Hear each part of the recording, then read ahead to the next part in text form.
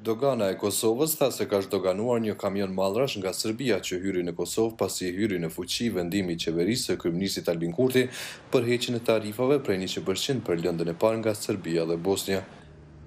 Ministrja e Ekonomisë, Rozeta Hajdari, tha të shtunën në një konferencë me gazetarë se ndikimi i tarifave në realitetin ekonomik në Kosovë nuk ishte i tillë çfarë ishte pritur. dhe heqja e tyre fuqizon marrëdhëniet me aleatët e Kosovës. Qeveria e Republikës së Kosovës po dëshmon se është e përkushtuar në ruajtjen dhe fuqizimin e mëtejshëm të raporteve me aleatët kyç ndërkombëtarë të Kosovës. Kjo për faktin se si rezultat i vendimit të dhënë ditën e djeshme, Qeveria e Republikës së Kosovës ka hequr tarifën njëqind për qind për të gjitha lëndët e para që importohen nga Serbia,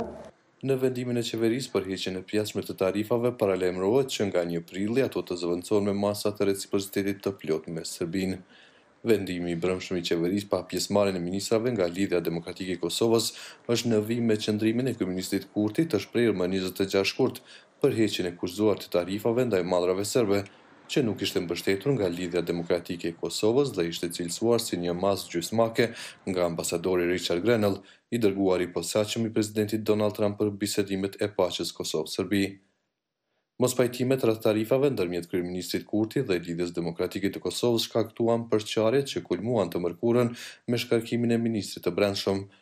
Lidhja Demokratike që i kishte kërkuar zotit Kurti heqjen e plotë të tarifave sipas kërkesës amerikane, të premten dorëzoi në Parlamentin e Kosovës një mocion për rrëzimin e qeverisë.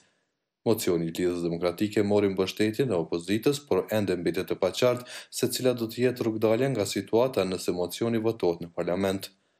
Në nëntor të vitit dy mijë e tetëmbëdhjetë Qeveria e Kosovës vendosi tarifa prej njëqind për qind ndaj mallrave serbe në shenjë kundërshtimi ndaj qasjes së Beogradit ndaj shtetësisë së Kosovës,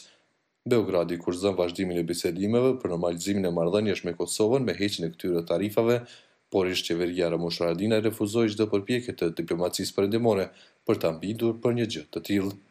Për Zërin e Amerikës, Leonat Shehu, Prishtinë.